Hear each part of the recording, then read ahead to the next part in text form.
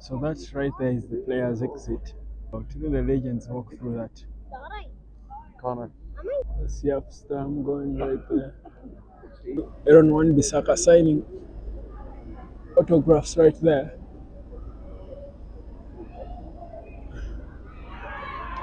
So that's Wan Bissaka. Wan Bissaka right there. Whoa! Wan Bissaka.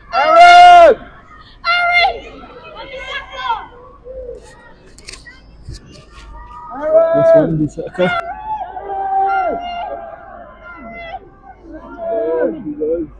That's Dalot and Nana right there. Andre Onana right there. Should be headed straight for a private jet to the Africa Cup of Nations. He's in a rush for no time. Dalot in front of him. There goes Scott McTominay. Kobbie!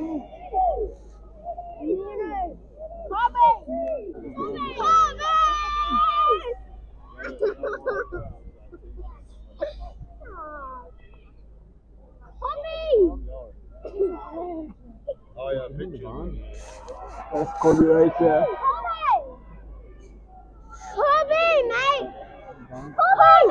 Kobbie! Kobbie!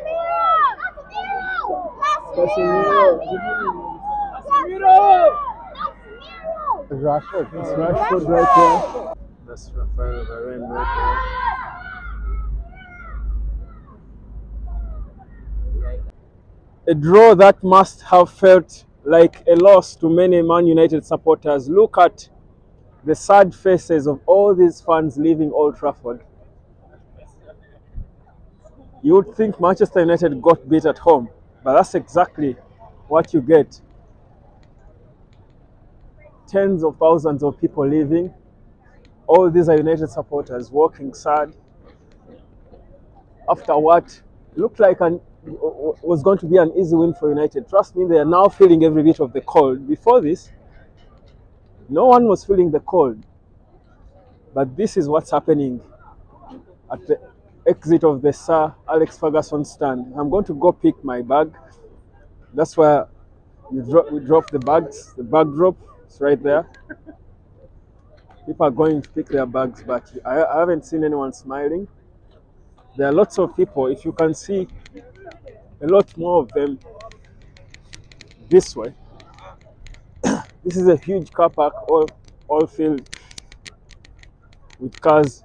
But look at the people all rushing home. It's so cold now. The failure to win must have made it feel colder. Ah, goodness. I'm freezing. Just like everyone else. You see here, the United, the Spurs supporters perhaps won't be. Yeah, but look, that's what's happening. Traffic will definitely be mad. I hear some noise. Maybe those are Spurs supporters happy about the.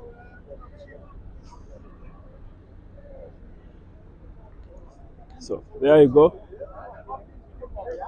That's what happens when you don't win at Old Trafford. That's exactly what happens. People live sad.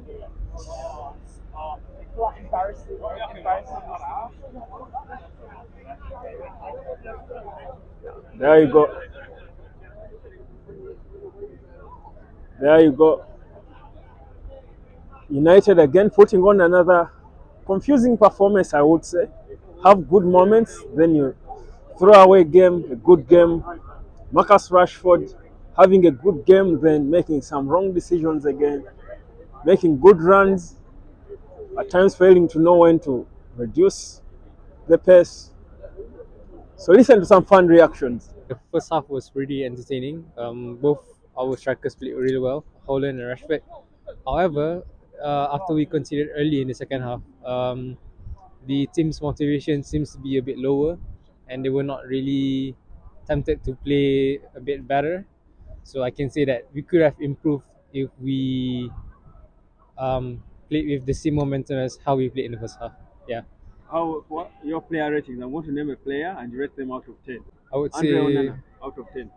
um seven, Diogo Dalot, um seven, Wan Bissaka, seven, Marcus Rashford, um eight, Rasmus Højlund, um eight point five.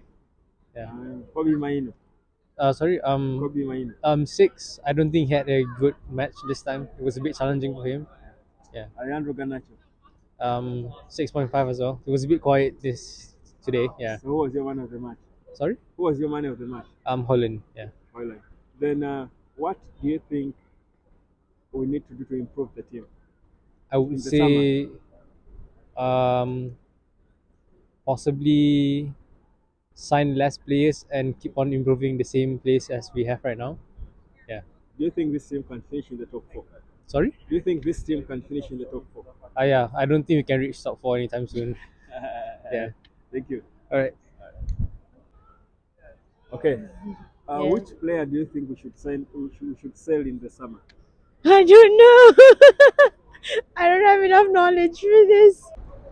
So it's over an hour since the game ended, but trust you me, Manchester is still buzzing now. This is the street leading to the main gate of Old Trafford, but just opposite that street is this place called the Trafford. Now, the Trafford is probably the signature Manchester United bar, pub or bar, where fans of the club go immediately after the game and have a beer or two. Now, if you come closer, unfortunately, I probably can't go in and record. But if you come closer, if you sneak in and you see lots of people in there, people are singing and chanting Manchester United songs. It's it's a fun day. Business is still buzzing. People are still celebrating the draw. Of course, for those who are happy about the draw, they are still celebrating. As you can see in there, that's exactly what's going on. So it's a it's a it's a fun a, a- fun place. People are having a beer. If I cross the road this way for you to get a proper view, because I don't want you know to go in there while recording. I might get kicked out. But from here, you can get a proper view of the Trafford. Now, this is the definition of enjoying football the Premier League way. The voices in there are too loud. People are enjoying their beer while, you know, reflecting on the game. Of course, the sad ones who are feeling the, the cold are leaving home, as you can see with their somber faces. But there's one thing that is common with everyone everyone is holding their beer. You can see people have been selling their stuff here. Of course, they are closing off now. A few of those hoping for one more customer. I just had a nice hot dog there at the burger and fries car there spot. Yeah? Yeah, the sad ones are leaving. So you can imagine the the joy of uh, of a football match. So these are all United supporters. The street there's been lots of traffic. I told you just about two hours since the game ended now.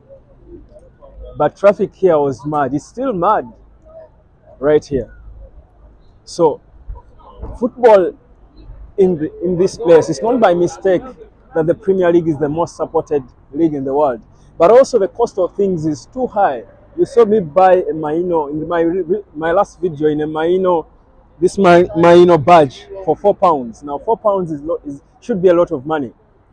Uh, I just bought a, a hot dog for about six pounds.